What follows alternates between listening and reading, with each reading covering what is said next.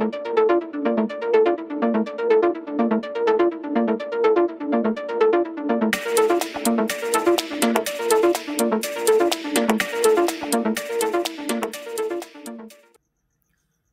মাঠে মুম্বাই সিটি এফসির এগেনস্টে আবারও পরাজিত হলো ইস্টবেঙ্গল ক্লাব এবং দশ নাম্বার পজিশনে লিগ টেবিলে যেখানে ছিল সেখানেই রয়ে গেল ইস্টবেঙ্গল বড় পরাজয় এবং আজকে থ্রু আউট দ্য ম্যাচ কিন্তু পারফরমেন্স একদমই যেটা আমরা আশা করেছিলাম সেরকম দিতে পারল না ইস্টবেঙ্গল ম্যাচের একদম লাস্ট কুড়ি মিনিটে একটু অ্যাটাকিং ফুটবল দেখেছি, তাছাড়া পুরো ম্যাচে কিন্তু ডিফেন্সিভ ফুটবল দেখলাম আজকে কার্লাস কুয়াদ্রাতের ইস্টবেঙ্গলের তরফ থেকে।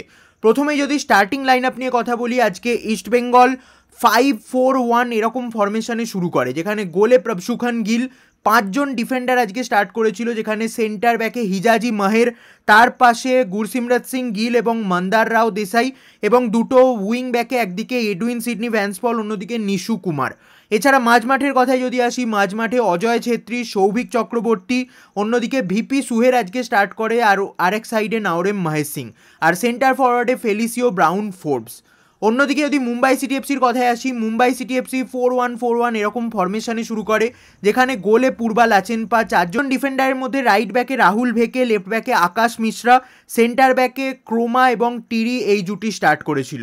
মাঝ মাঠে আপুইয়া ছিল ডিফেন্সিভ মিডফিল্ডে তাছাড়া আপ ফ্রন্টের মিডফিল্ডের কথায় যদি আসি, যেখানে জয়েশ রানে, অ্যালবার্টো নগুয়েরা উইংয়ে একদিকে ছাংতে, অন্যদিকে বিক্রম, আর সেন্টার ফরওয়ার্ডে ইকার গোয়ারত সেনা মুম্বাই সিটি এফসি আজকে পুরোপুরি মানে ম্যাচ থেকেই আউট করে দিয়েছিল ইস্টবেঙ্গলকে সমস্ত ডিপার্টমেন্টে মুম্বাই আজকে চ্যাম্পিয়ন এবং ম্যাচও তারা এক শূন্য গোলে জিতেছে। ম্যাচের একমাত্র গোলটা আসে চব্বিশ মিনিট নাগাদ ইকার গোয়ারত সেনার তরফ থেকে।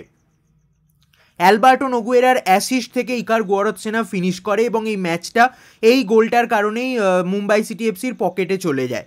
ম্যাচটা পুরোপুরি ডিফেন্সিভ ফরমেশনে শুরু করেছিল আজকে ইস্টবেঙ্গল এবং পুরোটাই তারা ডিফেন্সিভ ওরিয়েন্টেড খেলতে চেয়েছিল।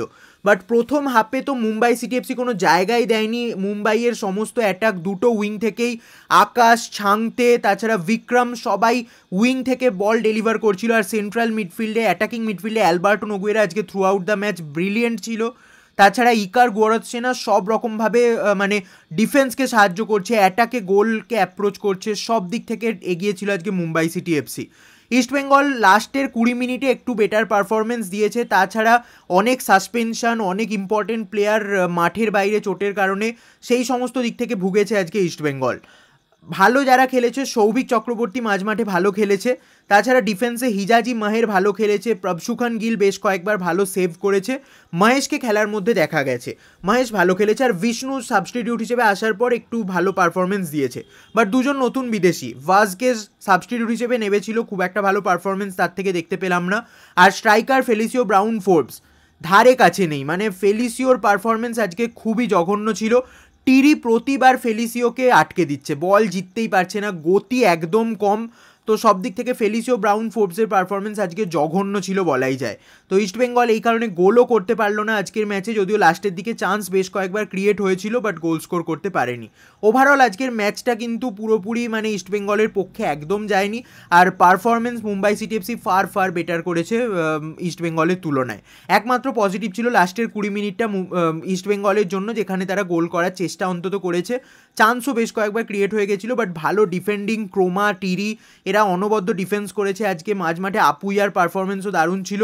তারপর ইকার গুয়ারত সেনা আর অ্যালবার্টন নগুয়েরা জুটি কামাল করেছে। ছাংতে খুব ভালো খেলেছে।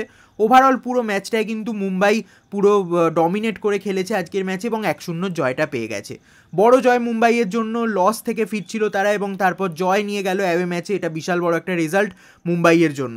তোমাদের কেমন লাগল আজকের ম্যাচটা অবশ্যই নিচে কমেন্টে জানিও। আর যদি আজকের এই রিভিউ ভিডিওটা ভালো লাগে তাহলে অবশ্যই একটা লাইক করে দিও।